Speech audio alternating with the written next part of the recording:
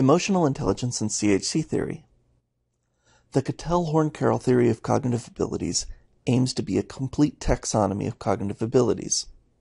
Though not strictly cognitive, there are motor abilities, that is, we have physical skills. There are different sensory modalities, and there are different parts of the brain that are specialized to process sensory information. It appears to be the case that there are different aspects of intelligence that help us reason with this sensory information. The evidence is most clear for visual spatial ability and auditory processing. It is assumed that there are parts of the brain that facilitate reasoning with other kinds of sensory information as well. Humans have the ability to control attention, but this capacity is limited.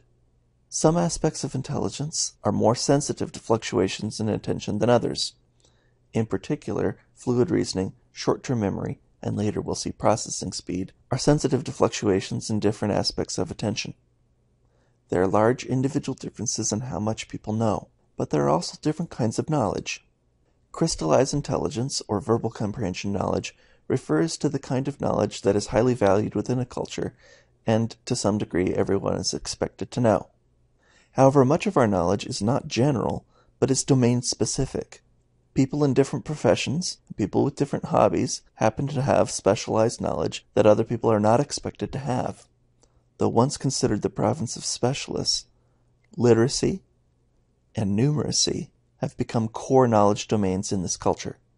Brains process information at different rates, and there are different kinds of speeded abilities. There is psychomotor speed, speed of perception, attentional fluency or processing speed, and the rate at which one can learn new information, and the fluency with which information can be retrieved from long-term memory. Thus, the Cattell-Horn-Carroll theory of cognitive abilities distinguishes between power abilities, or abilities defined by their difficulty, and abilities that are defined by the speed at which the task can be done, rather than the difficulty of the task. This distinction is not a true dichotomy. Every task has speed-accuracy trade-offs. In this diagram, there's something important missing. What about emotional intelligence? Where does it fit in? Research on emotional intelligence took off in the early 90s, long after most of the data sets that Horn and Carroll used to generate their models. We now have many high quality data sets in which emotional intelligence was measured, and they've been accumulating for over 20 years. Where would emotional intelligence fit into this model? Mayer, Salovey, and Caruso, and I apologize if I've mispronounced the names, have proposed a very influential model of emotional intelligence. People differ in their ability to perceive emotions accurately. People differ in their ability to manage emotions intelligently. People differ in their levels of emotional understanding. Not shown here, people also differ in their ability to use emotion to facilitate reasoning. This last ability I haven't shown because the study I'm going to refer to didn't measure it. There's some controversy as to whether or not it's distinct from the other three. Now, if one wants to talk about emotional intelligence as a kind of conceptual category, we don't need any data at all. It is self-evident that we have emotions and that intelligent people have to take them into account. If, however, we want to talk about emotional intelligence as a kind of conceptual unity, we're going to need some data.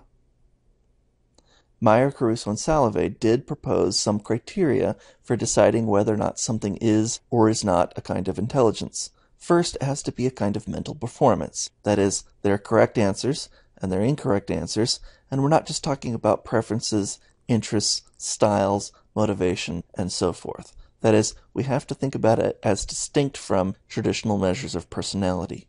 Second, it is abundantly clear from literally thousands and thousands of data sets that all aspects of intelligence correlate. So, if your new intelligence doesn't correlate with any other measure of intelligence, at least to some degree, there are strong reasons to doubt whether or not we're actually measuring intelligence. If, however, the new measure of intelligence is not distinct from other measures of intelligence, then there's no real reason to have it. It's completely redundant.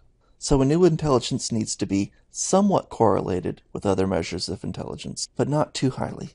All other aspects of intelligence seem to develop with age. Therefore, we should expect that new measures of intelligence should do likewise.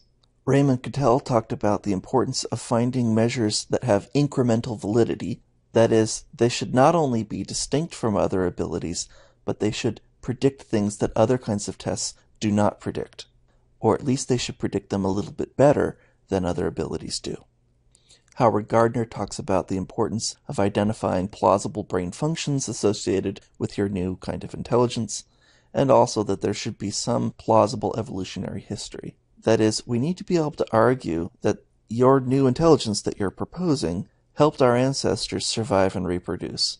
So, for example, you could talk about computer skills for sure, but to call something computer intelligence would be a little bit silly. Computers did not help our ancestors survive and reproduce, at least not yet. Mayer Caruso, and Salovey believe that they've demonstrated that emotional intelligence does meet criteria such as these. If that's the case, where does emotional intelligence fit in CHC theory?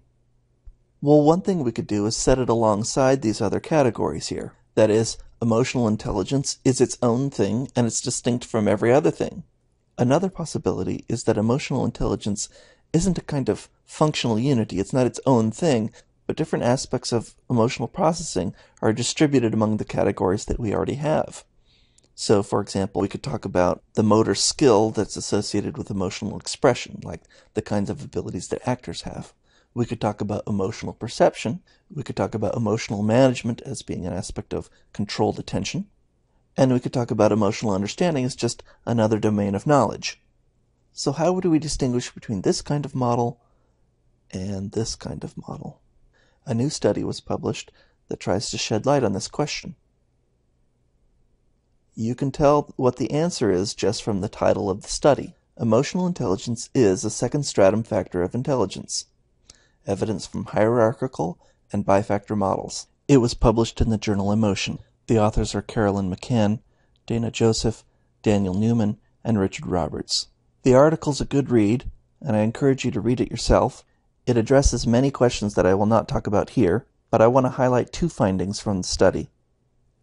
First, the study measured five different aspects of CHC theory visual spatial ability, fluid reasoning, crystallized intelligence, quantitative knowledge, and one aspect of long-term memory, which is retrieval fluency, or what Carroll called GR. In addition, they measured emotion perception, emotion understanding, and emotion management. In one of the models, these three emotional abilities are correlated only because of their association with the general factor of intelligence. However, if emotional intelligence is a conceptual unity, it should have some residual correlation between the three factors that is not accounted for by G. Or in other words, these correlations are accounted for by some second stratum ability that we can call emotional intelligence. This was not the model tested in the article, but rather a hierarchical model like so. Thus, the three emotional abilities have correlations that are accounted for by the second stratum factor, emotional intelligence, which is, in turn, correlated with G. So the preliminary answer as to where does emotional intelligence fit in CHC theory appears to be here. Now we're going to need some replications, and it's possible that we're overlooking some very important questions. Unfortunately for me, the symmetry of my diagram is now broken. There's a hole right here. Now maybe there is something that would fill the void, but I'm not sure what that would be some sort of speeded aspect of emotional intelligence, maybe the speed of emotion perception or something like that. Seems like a fun thing to think about and maybe to measure. It will be interesting what future research brings, but it is time to think long and hard about where is the place of emotional intelligence in the CHC taxonomy.